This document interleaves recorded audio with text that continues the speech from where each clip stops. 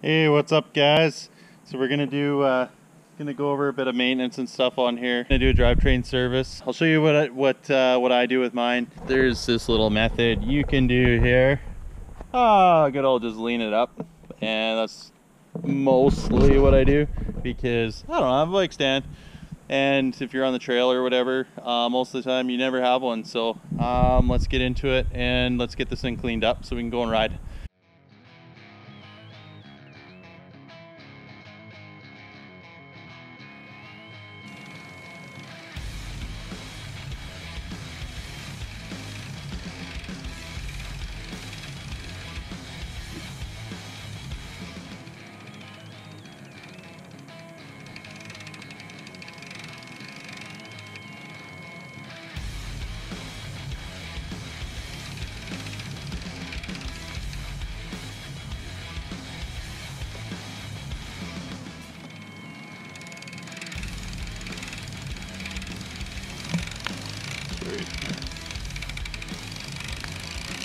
Once uh, once we get it all brushed out, then we gotta lube it up. So we're just gonna run some wet lube on it.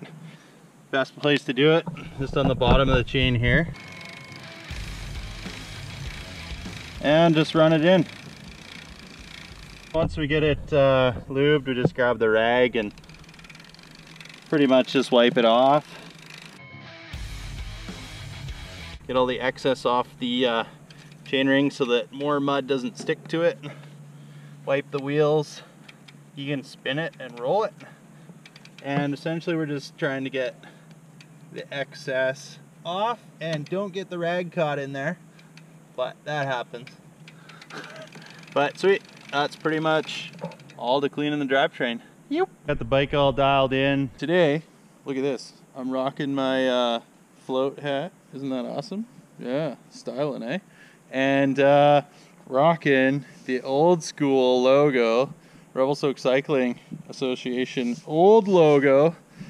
Sick. Catch you guys out there. Yep.